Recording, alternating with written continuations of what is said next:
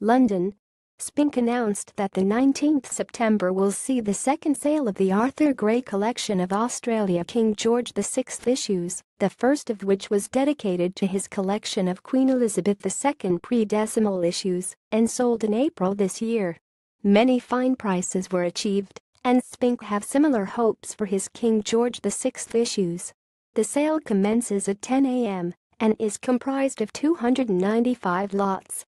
There are many items of great rarity from this fascinating area of collecting, but the star of the show is Lot 648, a Kangaroo 2 194,548 maroon, variety watermark inverted, cancelled by part Kooyong CDS extremely rare, the only other example is a pair. RPS Certificate 2006 SG 212A Y acute 24,000 BW 41A, $45,000. Estimate Y acute 10,000 12,000 lot 673 is also worth noting and is made up of four die proofs of the arms issue 194,951 on white, wove paper and were presented to Sir G. Chippindall, Director General of the PMGS Department.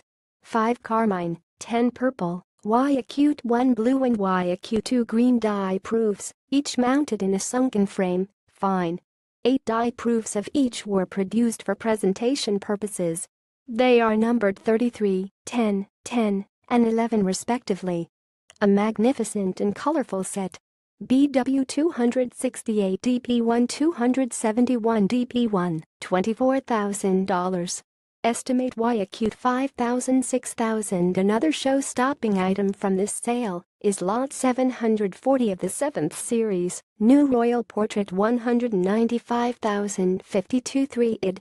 Brown-purple horizontal pair, variety imperforate between, unmounted mint. Three examples are known which originally comprised a vertical block of six, the lower pair was damaged, the block is believed to have been a booklet pane, the omission of the perforations being caused by a paper fold. A major rarity from the George VI reign.